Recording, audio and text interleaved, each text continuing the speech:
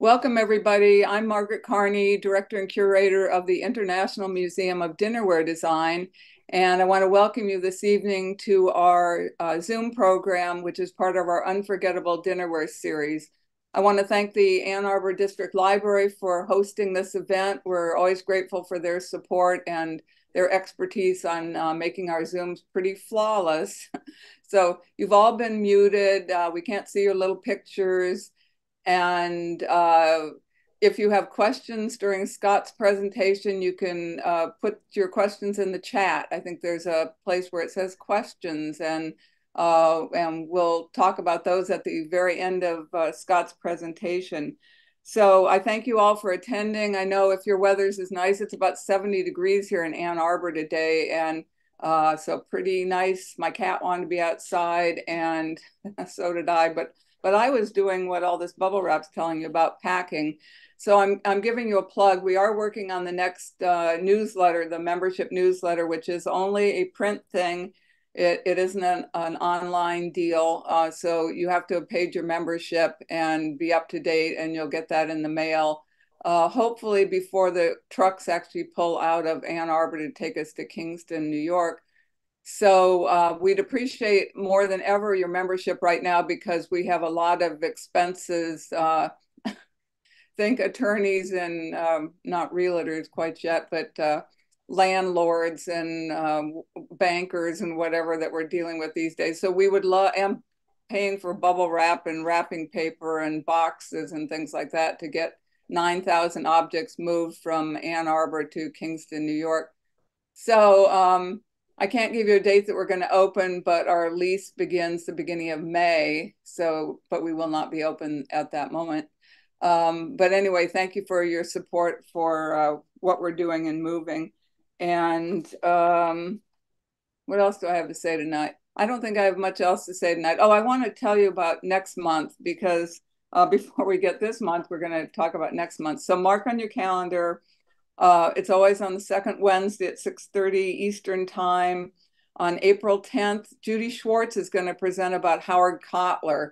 And if you don't know about Howard Kottler, uh, I think you could you could Google him, but you could also buy Judy's book, Confrontational Ceramics, and some other publications she's done. She is the world's authority on Howard Kottler.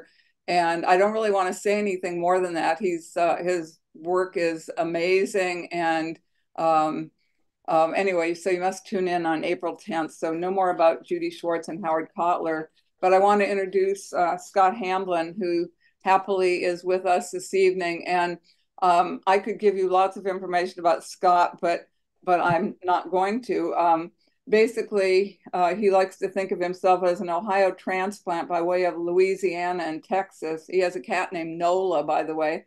So I guess that proves that.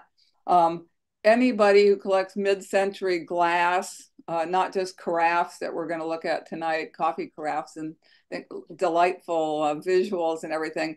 Uh, anybody that knows about glass knows Scott Hamblen. So I don't think I have to uh, to give him more of an introduction. But if you love what he does this evening, which I know I'm going to, um, I want you to uh, contact him or me to encourage him to give a future presentation about vintage bar and barware. Um, so, and maybe dinnerware too, but uh, barware might be, you know, next fall or something, Scott. Okay, so without further ado, I am going to turn this over to Scott Hamblen, who is going to give us a, a retrospective and brief primer on unintentional accumulation of mid-century hostess carafes. So take it away, Scott, and thank you very much. Thanks, Margaret. You put me on the spot with the barware, but we'll, Sorry. we'll talk anyway. I promised. but thanks, and hey, and thank the museum for hosting. You know, these chats are great. And didn't really see myself here, but I never really thought much about the carafe collection anyway. It just kind of happened, thus accidentally, much less than being a topic. But they have become popular in the last few years so here I am, and why not, you know? But yeah, like you said, most folks know me for the barware and the glassware and way too much dinnerware and whatnot. But all that stuff I added to and with earnest and with purpose. But No, the crafts they just kind of accrued. And um, of course, this was a while back, you know, like mid 90s, 95 ish. And I had gotten into uh, mid century um, sundries and whatnot. And, um, but mostly glass, mostly barware and whatnot. And, um, you know, then one day um, I was out hunting and it all kind of started. But let me pull up my let me pull up my PowerPoint here and get it going.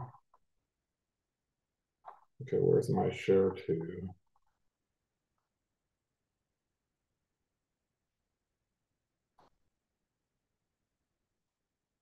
I'm sorry, bear with me.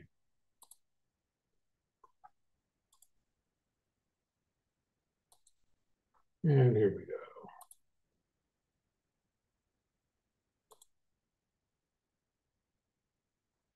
Yeah. So anyway, um, yeah, like I said, one day I was out hunting and found this guy on the left.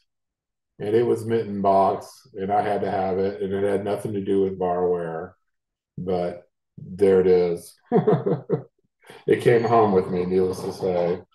And um, it's from Inland Glass, um, a little division of Club Aluminum, if you know the the old aluminum cookware that they used to produce. But they were out of Chicago and whatnot, and I had looked into Inland Glass and um, became enamored with a few lines and whatnot, and just started to collect.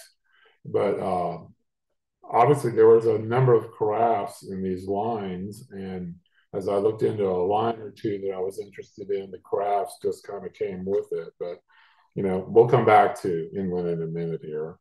But um, you know, early on, like with the barware, uh, I realized things could get really out of hand really quick when it comes to storage. So I made some limits and restrictions, and I pretty much only collect American production, and I only collect a mint in the box if, if I can unless it's super, super rare or whatnot. But most folks who know me know I'm a sucker for a box or a stand or a caddy.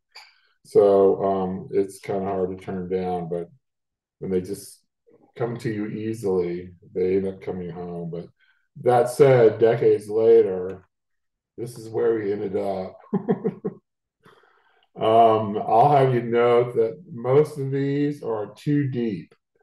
So there's probably two to every slot, but you can just imagine um, what a nightmare it would be if it was all loose and I had to dust it and all that too. But um, that said, more and more as they came in and as I got to know them. But you know, I must have had about maybe a dozen or so. And like I said, then they just started appearing to me. They just came out of nowhere they were at state sales and tag sales and thrift, thrift stores and you know by the turn of the 2000s here on the last wave of mid-century estates that were liquidating um, there was probably a rush on the market on them but like i said they just came out of nowhere. And i could get them for like two dollars a piece mint in the box. Candle had never even been used you know. But um that said, you know, they uh, they started piling up and accumulating, and then, as usual with most collectors, somewhere down the line, I discovered mid-century dinnerware, and um, more specifically, the designers and whatnot associated with those lines and patterns, and um, pretty much courtesy of Mike Pratt, I might add, in his his wonderful books. But that said, I became interested in the the designers, Fred Press, Ben Seibel, amongst others, and that's when things kind of changed from passive to active collecting. And um, here we are, box after box. But I haven't added to these in years and years and years. They've just been up there. Uh, this is up in my attic. So anyway, that's kind of the background on where it all came from. I'm not quite the nerd as I am with barware when it comes to, you know, uh, micro information and whatnot on these. Most of it's been observation and osmosis. So let's let's go ahead and I'll tell you what I know about them. Um, it pretty much all starts with Pyrex. And, you know, uh, late into the 19th century, right at the end there, uh, that borosilicate glass was invented. And um, it met a need. It met a need for glass that could be heated and cooled pretty much instantly without shattering. And of course, the the production outlet for that was lab glass. And you can see, um, of course, came in many shapes and forms and flavors, but probably, you know, four or five of these easily. Um, showed up years later, post war, when some designers got resourceful and said, hey, we can repurpose some of this. And um, uh, Pyrex did that early into the, well, the late 40s, late, late, late 40s, early 50s. Pretty much all these were lab glass and they were all from Pyrex. It might be for a third party and whatnot, but uh, a couple examples. Uh, these were early on from uh, an outfit called Handcraft Manufacturing, but you can see the obvious correlation to lab lab glass and lab product, and um, came in all kinds of sizes, of course, and um, it was easy. You know, the molds were done. New molds are expensive, expensive to design, they're expensive to make. They need to last a long time. And like any man, good manufacturer and business, you know, they're going to get the most most run out of them that they can. And um, here's a few more. Um, this is from a little company called Aloha. It's the only thing I know of. You see these little crafts that I used to pretty frequently, but they always got separated from the stand. But again, you can see Pyrex. Pyrex had stamped all of these back then occasionally they would add like uh, the actual retailer's name to them or who they were produced for, but for the most part, you really can't tell. And the only reason I know is finding them in the box. But again, um, Aloha, Aloha, L O A, I'm sorry, A L O A. And uh, came in a few different colors. Um, again, more examples, more sizes. These were actually from Ernest Sohn, and um, a designer that worked for Rubel and then went out on his own about 1950. These are from his new company, Ernest Sohn Creations. But we'll come back to Ernest Sohn as well. Um, these are Sohn as well. These are big guys. Like um, they generally come in like a 12 cup or an 8 cup, and then they go on down to individual little servers, um, that you know fit inside of a coffee cup, so you can carry two cups at one time, or two cups worth of coffee, I should say. But um, let me see here. Yeah, um, needless to say, these uh, these industrious entrepreneurs and little gift wares companies took advantage of this and um, did what they could with the existing shapes and blanks. Pyrex made a lot of blanks. and this is back to uh, Glass. You should, you should also note that in the early 50s, like most furniture and housewares and accessories, you know, painted black metal was in. It was cheap. It was affordable for young moderns just starting out.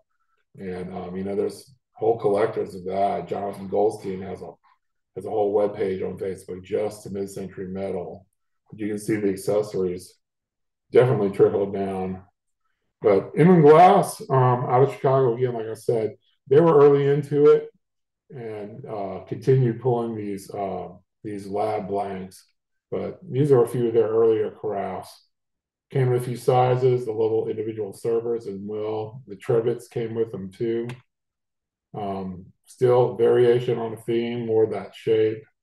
This was their Empress line or their Empress decoration. I think it refers to the shape but these came in a few flavors as well uh, gold, silver, copper, and they came solid banded and striped.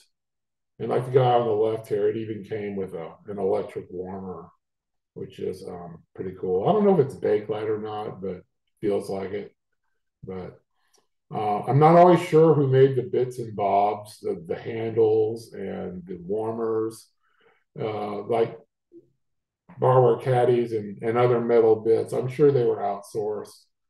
and um, never quite sure who actually manufactured some of these later on, or if they just ordered special order from a glass maker and sent it through an assembler or whatnot. But we'll see as we move on.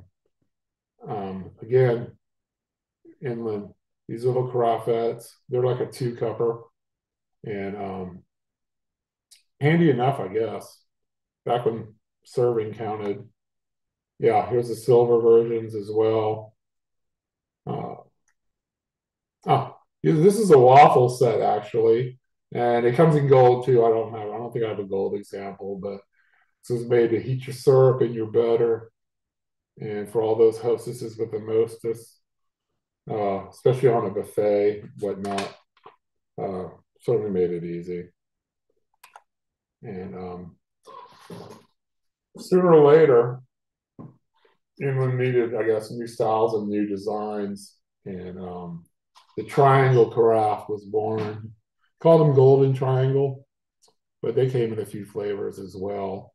12 and 8 cups, like the two guys on the left. The silver one's a little hard to find. You don't see it much. And the one on the right's pretty cool. That's a they call that one the Renaissance. A little hard to find in good shape because that that stained glass is fleeting. But long about this time, though, Inland also introduced a number of uh, accessory pieces to go with it. It was buffetware. So there were casseroles and tree and well platters. And this was probably the pattern that got me hooked. Uh, they called this one round the clock. And um, only a line or two was really extensively accessorized, uh, this being one of them. But you can see the big party tray on the right, number of trays. I'm not sure who bent their glass. It might have been Glass Guild that did it. Glass Guild, you might know from George Briard, a lot of his trays. But um, those are hurricanes on the left there. Those are pretty hard to find, uh, especially in good shape. But those came on a few lines as well. And um, it's one of the few things I have accessories to. So I thought I'd just show them.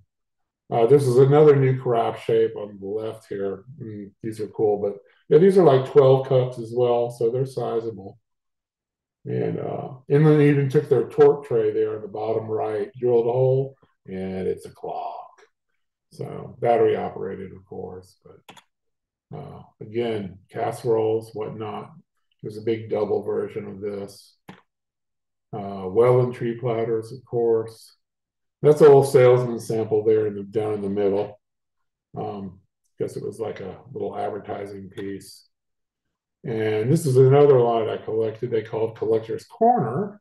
A little bit homier, but kind of cool. But hard beat that one there in the middle with the chevron lid. Um, yet another new shape, unique to inland glass. Um, there is a shorter squatter teapot that came in this, and all these years later, I have never run into an example, and um, or found one in the box. So even online, so I don't have it, but um, that's probably the one I don't have. Little creamers and sugars came with them. Again, more trays, big party trays. And um, I think Glasbake did these. Pyrex did a lot of the other casseroles, but Glasbake did these for uh, Inland Glass and Collector's Corner. And um, they also, of course, uh, if you have to think back, this was the dawn, the invention of the marvelous new product known as instant coffee. Um, we all know how it tasted. Not so great, but yeah, Inland did a, a series that could be done just to heat water in and um, do instant coffee. These are small servers, like four cups. And um, of course, all this stuff could be used range top on a gas stove. If you had uh, an electric, it usually came with a little metal grid, some kind of heat diffuser. But again, Pyrex, we'll move on to them. They were probably the biggest player. Not only did they have blanks, you know, out the wazoo for all the third parties, but they kind of cornered the market.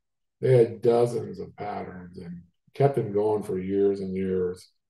But um, I'll just take you through some eye candy. again, 12 and 8 cuppers and uh, styles and whatnot morphed over the years. But, um, you know, you got to think back that, you know, hostesses, even young ones, you know, still knew that presentation counted. And, you know, company required, you know, some kind of flair, some kind of effort. And, and no hostess back then would bring out a percolator to serve or put a percolator out on the bar for that matter either. But you know, even the most modest of entertainment and entertainment budgets, coffee fits the bill. Coffee, tea, maybe even a little nosh. But uh, kind of left to right, this is a 12 cup, an 8 cup, a 4 cup, and a 2 cup. And Pyrex did a lot of this, a lot of promos and premiums that went with the smaller ones and um, did a lot of this kind of wildflower pattern. A number of the companies did. Another one, same scenario, just another pattern uh, as well. Don't really have pattern names for a lot of these. They called some of the shapes like the Cinderella line, but don't have a lot of actual names for the decorations. Uh, that's the Cinderella line there on the left. And that came in a 12 and an 8 cup as well. And of course, lots of casseroles and whatnot that came out from Pyrex at the same time. Um, another shape from them. They started a line, um, another 12 on the left, A cup on the right. And um, yeah, and a lot of these, and you'll see they became uh, dual purpose. They were tea makers. You could boil the water for tea, but they also became percolators.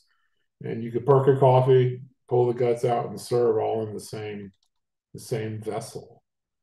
And uh, you'll see tea balls show up from time to time with these. Excuse me. Hope I'm not moving too fast, but we got a lot of slides to get through. Uh, these are basic eight cups, if I remember right, but of course, pine, pine cone, big theme in the 50s and 60s. Um, they got cooler later on too. This one with the electric warmer that matches. This is pretty collectible. People are into it. Of course, it always becomes separated. and uh, the warmers themselves are glass. So I imagine a number of them got broken as well. Uh, and to Pyrex collectors, these are a holy grail right here. This is the foulard. Um, pattern name does have the name foulard, which is that little motif, a little star motif. Angela, if you're listening, Angela's the one that turned me on to that term. I had never heard it before. But these came as a service, carafe and four cups. And the one, the blue one on the right is really, really desirable. But I was just lucky catch them 20 years ago before they became insanely expensive. Some of the Pyrex, I just an aside, just amazes me what people will pay for. But probably my favorite of the Pyrex, these big um, service, triple services definitely made for buffets and whatnot, but uh, keep the coffee coming, sugar creamers there, just lay it all out, and the hostess can mingle. Another one in the Cinderella line. Great pattern, great pattern. Again, I'm not sure who made all the metal bits and the wood bits, but I'm sure these came from Pyrex and Corning, so I would assume they they did their own assembly. I would think. And um, Oh yeah, like the guys on the left here, a lot of these are promos and premiums. You got them with, uh, you know, a pound of coffee um, and whatnot made for tea companies. Um, I put the big guy here on the right. That's a 12 cup. It also came in a cup. This is about where I cut off my carafes. This one came in about 1970. And in general, that's kind of where I cut off my mid century collecting as it is. Um, once you get into the 70s, and especially that that Mediterranean, don't get me started, but um, you know, the 70s, in my opinion, were the doldrums of design. But yeah, again, promos. Here's a four pack to a realtor, a retailer, excuse me. And the little guy on the right, that was done specifically for Lipton. You got that as a promo or I don't know, maybe it was with box tops or whatnot, or came filled with tea bags, but it was definitely done for Lipton. And uh, I don't have my little menu here, but let's see what's next. Oh yeah, yeah. Mainstream. They went mainstream, and you know, like most collectors, we all get a kick out of seeing them in the reruns. But you can see Laura, she had a couple of them, and they were stovetop. Though I guess they were convenient. Definitely keep things warm with a with a flame uh, from a gas stove. Oh, Samantha had a couple as well, and um, they popped up from time to time. Dinnerware collectors will know that the, she had Taylor Smith Taylor for her, her breakfast service, but I always noticed the carafes that popped up. And last but not least, Aunt Bee. She of course had one or two. You see these just pass by in the in the Pyrex, in the Pyrex examples. But moving on, um, like I said, most of these most of these were around and Pyrex was a big player, but there were a few others like Silex that were early to the party. And this is Silex uh, before before they became Proctor Silex. And they were really known, uh, like a few others, for those big double bubble siphon coffee makers, which, by the way, still make a great cup of coffee. But um, yeah, Silex got into them, made a number of combinations and gift sets. Um, the little warmer you see that was sold separately. It would come with, and sometimes you could pick it up separately. But uh, yeah, the, the Golden Touch came with little individual carafes, but also little individual warmers. They're not they're not real steady, little top heavy, but they're fun. And um, of course, Silex did it for a while and this got introduced later, the Starlight service, all done in copper. Uh, probably the coolest thing is the one on the right with the electric burner. That burner glows. There's a light in it, and it shows through on those uh, those little star cutouts. So um, these were done in like 12 cups, I'm sorry, eight cups, and then individual serving size, like a four a two. And um, you can see there on the le- uh, on the left, yeah, the percolators are starting to make it in.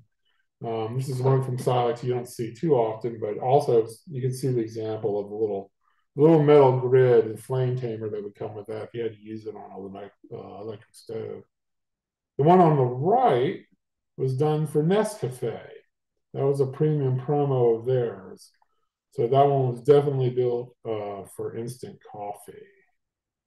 But uh, Silex did a few. There's another another grid or flame tamer there on the on the left.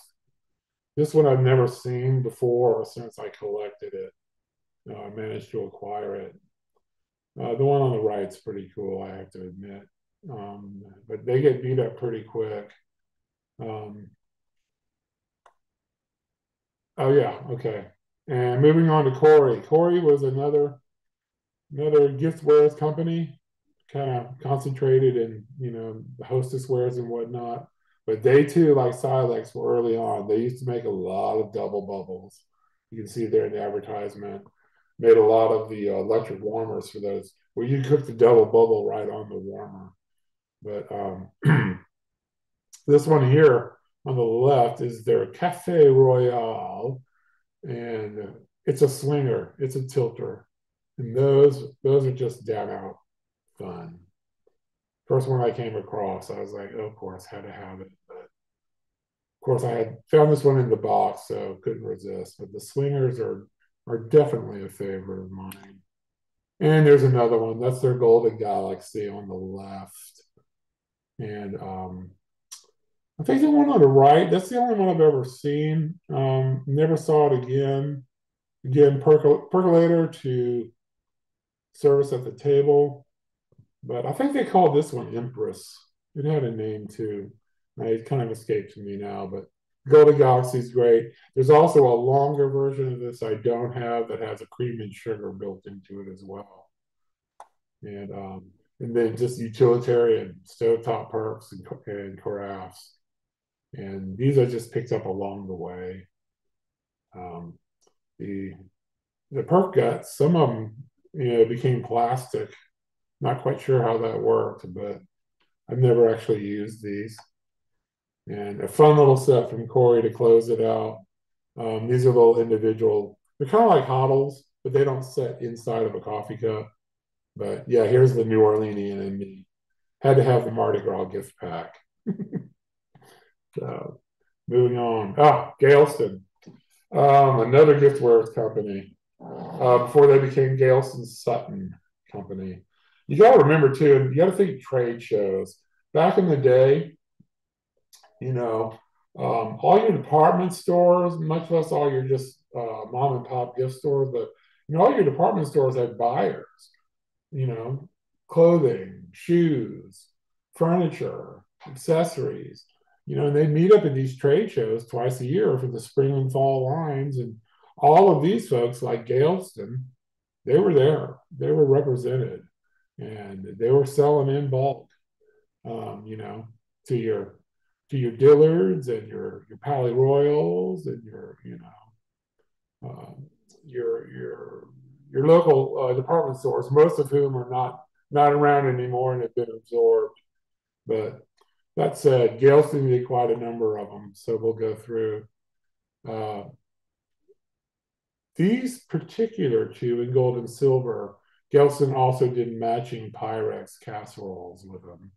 Basically the same, same kind of decorated stand that fit a fit a Pyrex, lidded Pyrex casserole. Still with Gailstyn, they did some great triple servers as too. Um, Angela, uh, the excellent sleuth that she is, uncovered the pattern name for the one on the the one on the right. I think it's Gold Scrolls, what you called it. But those who know glassware and barware, as well as Eva Zeisel, will recognize the sugar and creamer.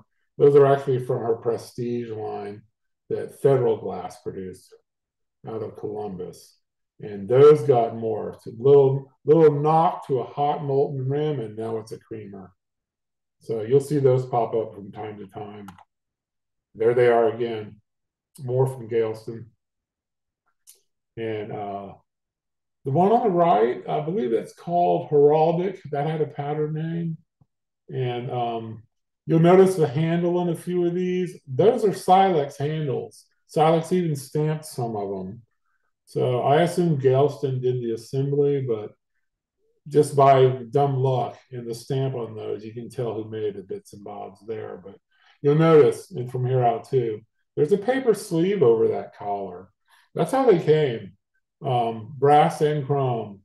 Um, they traveled better. They didn't tarnish. They didn't get scratched.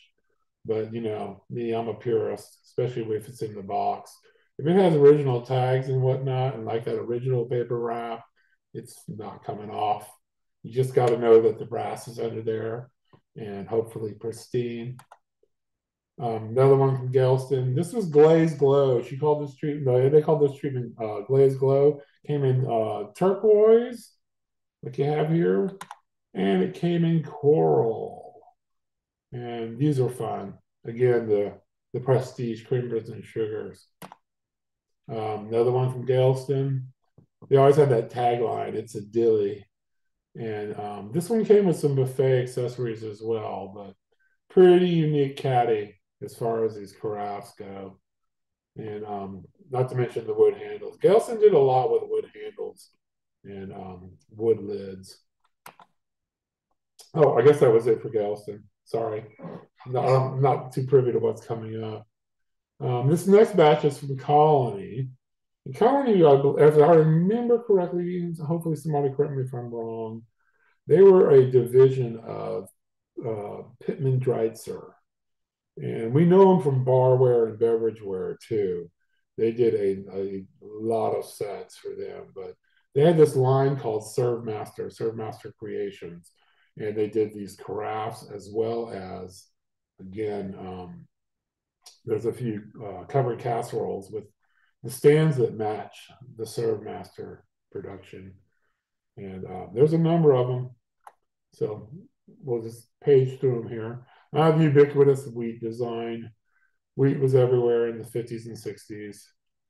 And um, these are big. These are, uh, I believe these are 12 cups, if I remember right. So they're sizable. and again came in a number of patterns. Requisite paisley. Um, oh, the guy on the right, I should say. That's that's probably the last carafe I picked up, maybe ten years ago, and only because I happened to be on eBay, saw it, and had never seen this one. And um, but Colony Survey called this particular decoration Apollo, and in the the the subsequent years, I've actually run into a casserole they made that has that same same stand look, that brass over copper with Apollo. And uh, anybody collecting these, you'll notice up on the lid, there's that little there's that little diamond piece there. Those were like those were stick-on uh, metal foil. And just know, full disclosure, they didn't stick on for long. You find them a lot of times they're gone. They they'll curl off, they'll pop off. The glue the glue will get dry. So don't be disheartened if you see them and see them pop off from time to time. A few more. Uh, one in particular on the right, that brushed one is pretty unique to the line. They could, did call that one Florentine, another popular name back in the day. And these were also from Colony. Um, they had yet another shape and new handle, as well as triple services. The one in the middle was done for Hedy, H E D Y. We do not know who Hedy was or who they were, or if Hedy was a designer. At least to my knowledge, hadn't come up yet. Hadn't discovered more about that, but have seen some trays and whatnot, some bent trays out there with this Hedy design and I've seen it in white and gold, black and gold, turquoise and gold. But this is the only example I have. And again, more from Colony. For some reason, they call the one in the middle Oreo. Looks like dogwood to me. But you'll find it in Oreo turquoise, Oreo black, Oreo white. And um, again, I think these are, I remember right, these are 12 cups. Uh, one on the right, uh, pretty unique with the stand there. One on the left is vintage. That did have a pattern name. You see it come up from time to time. Also had a casserole and whatnot that with it. With, with it. Sometimes you see them with a carafe and casserole all in, combined into one stand, but definitely buffet ware. Okay, I think this is it. Oh no, a couple more from Colony. Great Greek key. Tur- who doesn't love turquoise? Oh, I guess that was it. Um, Wyco, another company I don't know much about out of Chicago. They did a couple. They did a few things. If you Google Wyco or go to eBay, the main thing that comes up are ceramic ashtrays for all the different NFL teams. but before then, at some point, they did do some crafts and whatnot. Um, these little Servette carrettes, these uh, Silver Lady was this treatment, that that striped silver treatment. And it'll show up here in the next page or two. Came in bigger crowds as well. The guy on the right, um, uh, kind of don't know much about it except that it came in a number of colors. I've seen them in royal blue, yellow, bright red, but um, I guess I've never come across one in a box, so it never came home with me. But yeah, there's the silver ladies on the left uh, in the wood and the black. These are eight cup. These aren't quite as big. But guy on the right, atomic celestial. Let's get our terms right. but yeah, another good one from Colony. Um, these the cream and sugar show up actually with a different maker and a different pattern, but I have seen these uh, with sold with Wyco. So I'm not sure how those those wound up together, but I do have a, a three piece set and another version from Wyco. Again, now we're back to the roly poly, probably from Federal as well, although everybody and their dog made a roly poly back then. But just two examples of the same in two different two different combinations. promos. I have a number of promos and premiums, and this one was from Wyco, done for the Burns and Allen show. So I don't know. I'm not. I don't know if Gracie ever used them, but obviously I had to have this set when I came across it. Been years and years, but yeah, there are a number of primo and uh, uh, premiums and promos out there, and a few slides I have of them. Oh yeah, speak of the double, Bing Crosby did the one on the left. Um, both of these are from Curtis Products. I had no idea about Curtis. Obviously, out in California, out in Los Angeles somewhere. But uh, uh, they did uh, six and a four, and I think I have a two cup.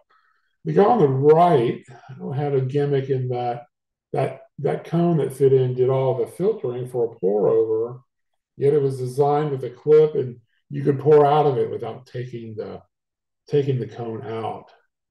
I'm not sure how well that worked, but that that is the gimmick on the on the box. But that's Curtis. I don't, I'm not sure of anything else they did. Ah, okay. This brings me to Stan Home, Stanley Home Products. Some of you may know, some of you may not.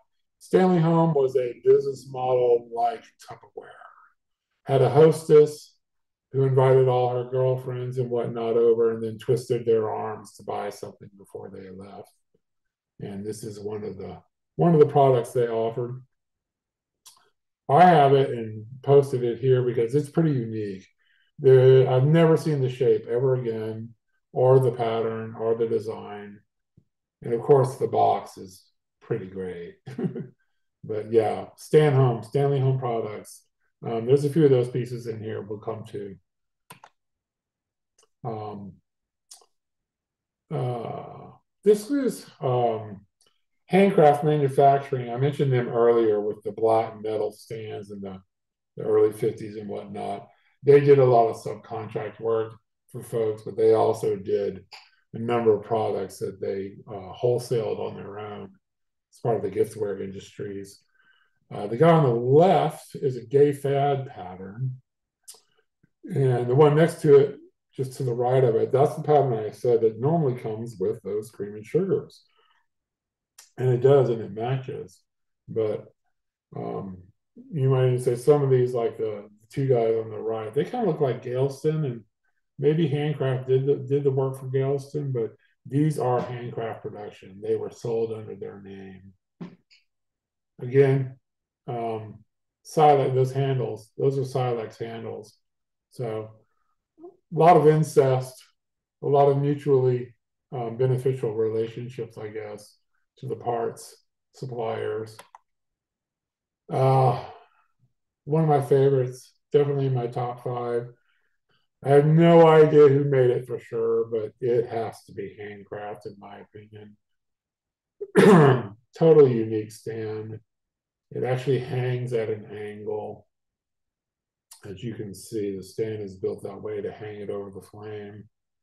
Um, black metal and brass. The brass is a bit tarnished, but uh, you get the idea. But uh, I'd love to know who designed this one. Um, this is another little company with two or three or four to offer. Karmax, Karmax Corp. K A R M A X. I had no information on this company other than they pop up from time to time. And I do think handcraft manufacturing probably did their work as well. But don't have pattern names, whatnot. I just happen to have a few examples because I found them, tagged them in the box over the years. Uh, two more from Karmax. The guy on the right took me 20 years to identify, but that um, that solid has hemispherical bowl there, pretty unique to this this set. There's a casserole that matches that set as well, but again, Carmex, sorry, Carmax, not the lip balm. and oh, on the right, another favorite in my top five. Um, these are from Rodney Kent. Uh, a lot of folks who've even heard the name or may know Rodney Kent had oodles and oodles and oodles of aluminum ware in the 40s. Most of it has that hammered look with a tulip finial or handle. Um, there's collectors who collect only it. I just happened pawn Rodney Kent because the guy on the right there Um, definitely wasn't going home with that. I do believe Glasbake made the carafes for this glass. This kind of um, beehive or uh, ribbed look. That's definitely a Glasbake product. But um, Rodney Kent, just a little quick side note, not a designer. Rodney Kent is the name of the company, and I think they were out of, I think they were out of New York, if I remember right, maybe New Jersey, but um, they were located on the on the corner of Rodney and Kent Avenue, and thus the name for the company. But um, again, most people recognize it for tons of aluminum, aluminum stuff done in the 40s. Oh, another one-off. Um, not sure who did these. Definitely Pyrex blanks, but um, these two were done for Foreman, Foreman Brothers. Some uh, glass collectors and cocktail and barware collectors will know Foreman and Cambridge collectors. Um, Foreman did a lot of metal overlay for Cambridge, and they look quite a bit like the guy on the right. Um, between um, cordial glasses and compotes and whatnot. But um, the guy on the left, this triple service set, it's the only one I've ever seen from them. And uh, found that rather late in the collecting timeline. But um, I think these are my only two examples. Uh, little one off, don't know anything about the Graham Corp, but the Gentleman, great name, great little great little six cupper. And uh, again, pretty much done for instant coffee. So let me keep it moving here. Uh, Guild, another giftware industry um, kind of third party decorator and wholesaler. Guild did a quite a bit of a face service, a number of which had carafes, and these are the crafts you're going to see. Um, little Hollywood Regency there. But this whole series from them, again, you can even see Silex on the white handle. But um, definitely a unique warmer matched up with a number of um, oblong and double and single casseroles with lids. Um, I believe the guy uh, they just came um, came named as colors white and citron here, I believe. And um, this is gold and avocado. And oh, I guess that was it. Yeah, that's it for Silex. Um, I'm sorry, that's it for for Guild Guild products. Um, I do have a few other Guild examples, but they did barware services as well, and maybe those will pop up in a barware talk. But that said, moving on. David Douglas. I'll try and get through these. Uh, David Douglas out of Sheboygan, Wisconsin. David Douglas was the owner and the company. He was not a designer. I did have the privilege years and years ago of speaking with two of his daughters. But they were two daughters from a first marriage and were somewhat estranged from him. So they couldn't give me a whole lot of information on him. But he started in Manitowoc and then moved to Sheboygan. And I found him in Manitowoc when I was there working for a year. But um, uh, I remember his daughters told me he was a Wharton School graduate. So he was all businessman, but he did do some cool carafes. But definitely, um, definitely uh, employed the, the whole double duty thing here with percolators, as you'll see. So I'm going to move on through these did an absolute ton of this wildflower motif, but came in several sizes. The little boomerang warmer was sold individually and with the craft, so you could pick them up on the side. Again, you see guts for a percolator and tea balls. The guy on the right was an official official tea teapot or a tea server. Um, again, you could boil your water and make tea all in the same vessel, but the big wide um, big wide opening and whatnot the whole the whole cut of that one it was definitely designed for uh, making tea iced tea oh sorry i guess i doubled up on it but again just more more and more of this wildflower and i do have some accessories i'll show you here um, yep right here made a ton of accessories for a few of their decorations um, you know sauce warmer for your hollandaise. Casserole, oh, I'm sorry, a canister there in the back. It's not in great shape, but those are salt and pepper shakers and a number of trays and a number of sizes, of course, in the different carafes. Um, again, more wildflower.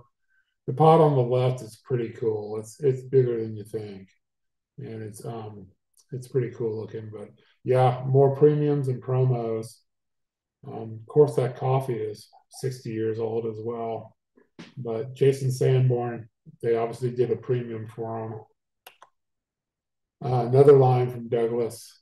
Um, I'm not sure if the pattern has a name, but the shape there on the left, they call this their glamorous line.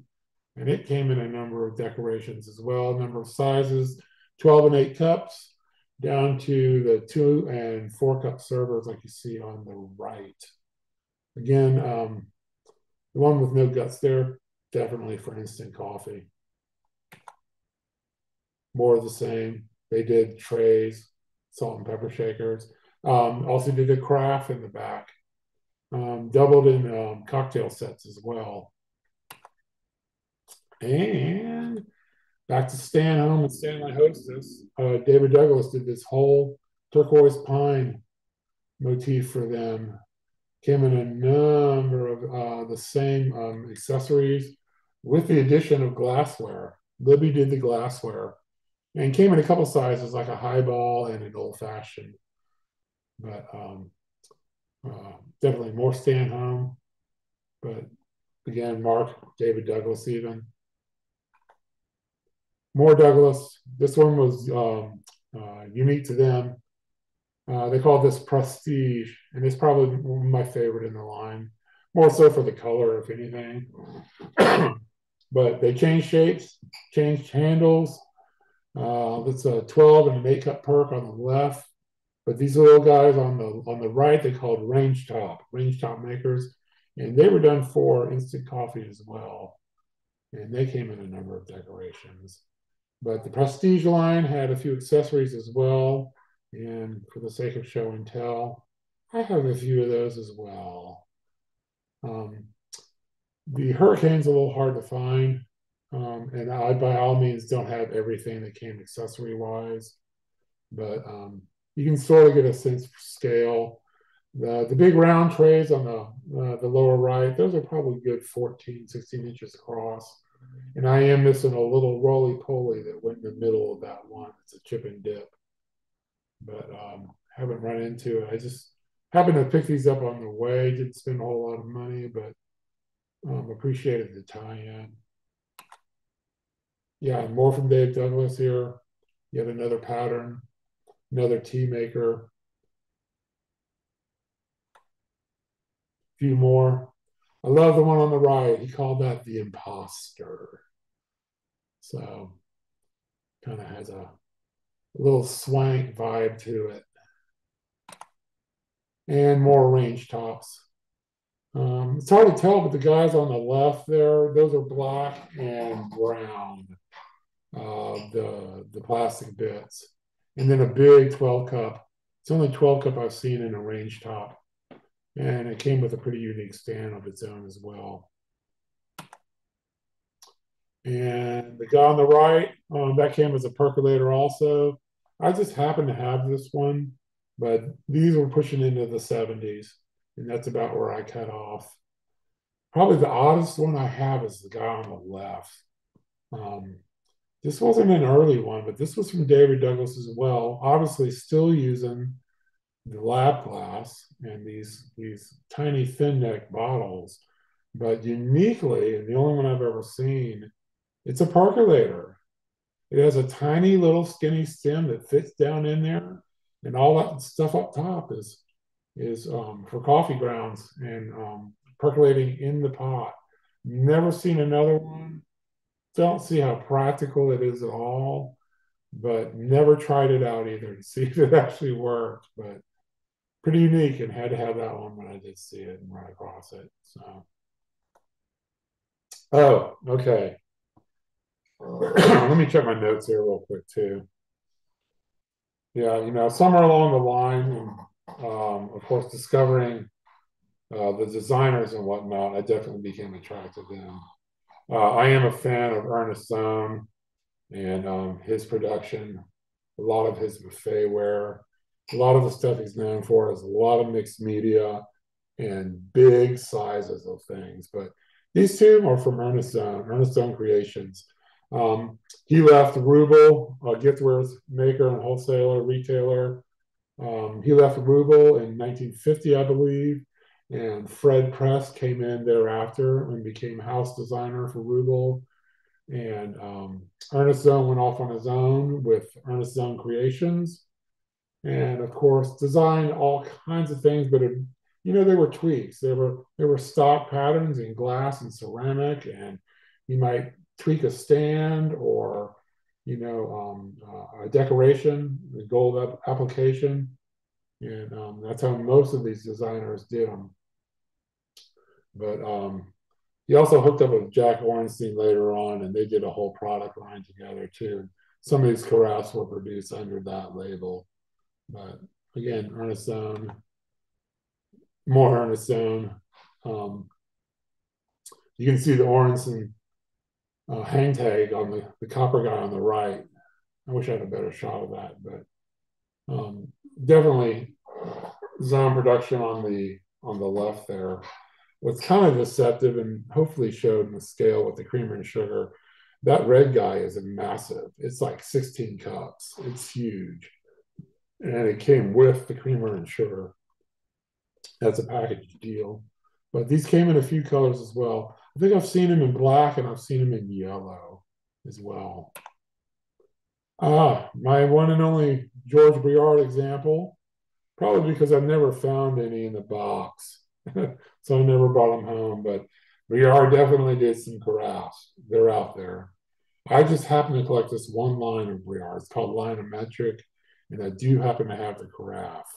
But I know I'm missing a wood stand and warmer and it had a brass lid like the uh, just like the sugar um, the sugar bowl there but yeah um, put those in for scale but most of the line was indeed ceramic but i believe this is the one briard carafe i have designer wise and then um, back to Rubel, and of course one of my favorites and most people's favorites fred press the guy was there for quite a while and there are dozens of these carafes.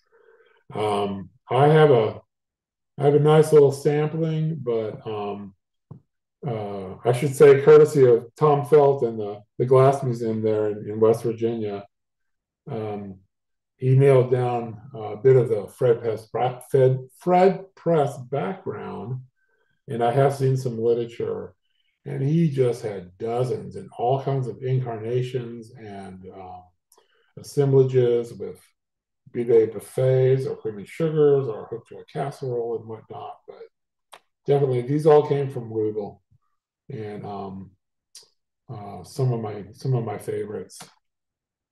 Um, some of you might even recognize some of the patterns. I believe that's Starfire on the on the left. Again, pattern names unknown for the longest time until uh, Tom Felton nailed some down for me.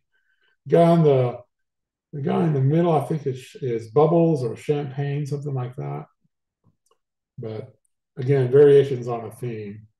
Um, even when they're not marked, you can pretty much tell that they're Rubel because of the the shape and the design of the finials and the handles. And of course, you know, we're in the 60s here and we're still using a lab shape. So it, it continued well on into the mid century. Uh, these are Fred Press as well. Um, cashing in on some of the early ones, he definitely had some black wire stands early on. The guy in the middle, I've only seen a few times, but definitely, it's not signed, but it's definitely Press and Rubel. It's signed on the box. Um, but uh, more of the same. Ah, and these triple servers, these these these hosted services from Fred, these were these were great.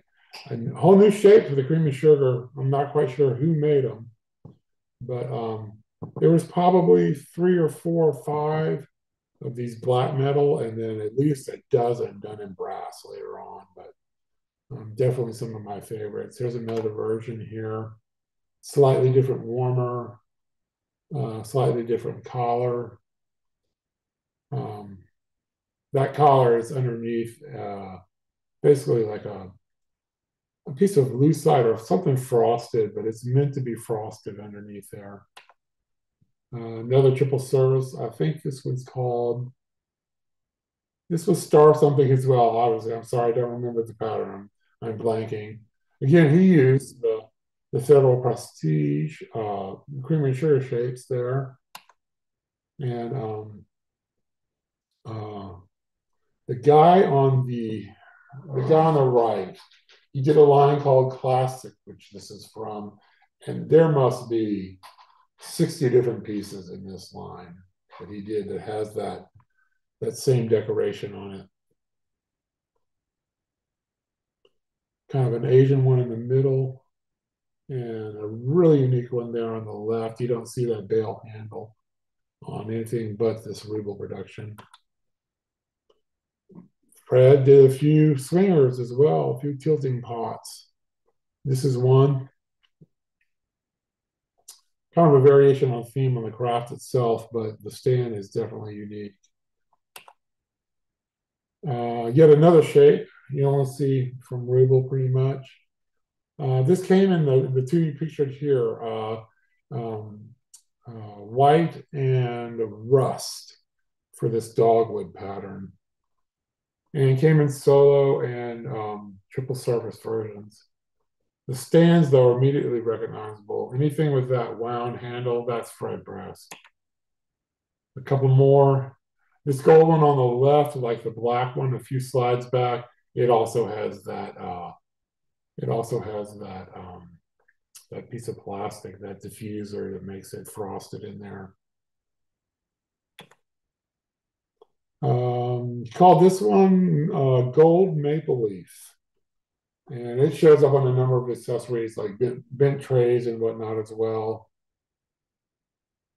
Um, uh, one of the one of the easier to find ones, I would say, and probably my pride and joy from Fred Press.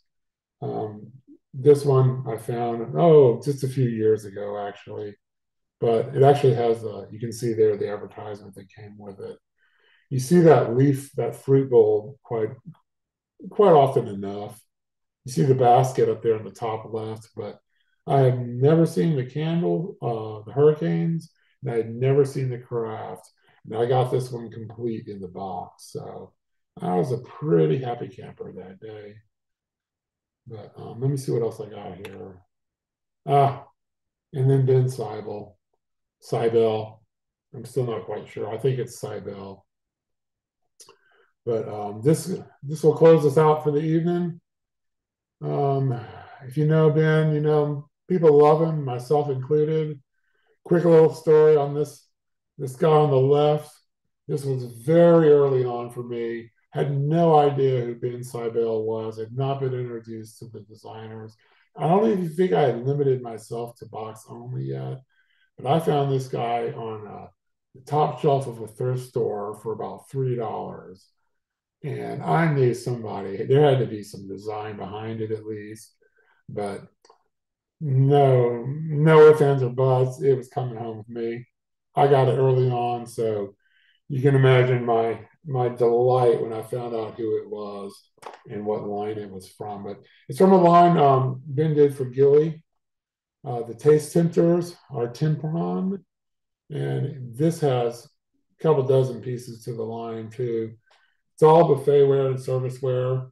Um, this particular craft came in a solo version as well. I don't think I have it, but uh, I've only got a few examples here. Um, uh, this pretty rare one from Ben and a swinger as well. Um, I do have the documentation on this. It's somewhere buried. I'd have to look it. I didn't have time to find it, but this stands a little beat up, but this one is pretty rare. So there wasn't there wasn't any question I had to have it as well. And um, but again, been creative, functional, aesthetically pleasing. And this is probably, I think this is my last one for the night. Wasn't sure this was Ben, and I guess officially it's still attributed to him.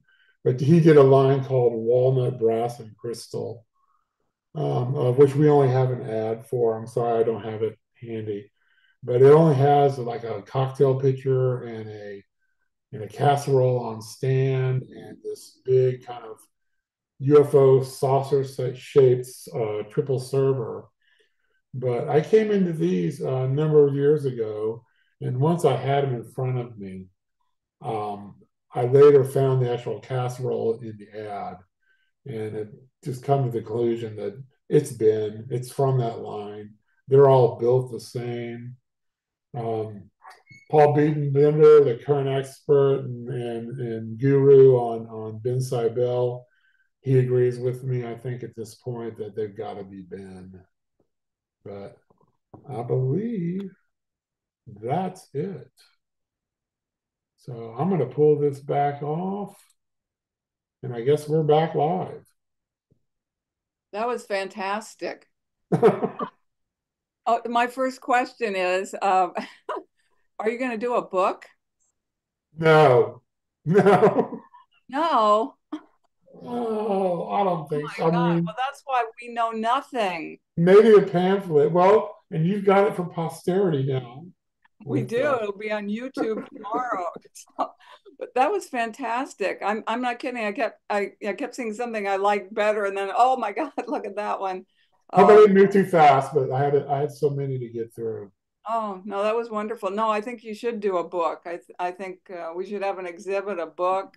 Um, uh, that was just great. I, I have a question. There aren't too many questions, uh, fortunately, because we're running low on time here. But thank you, everyone, for being here tonight.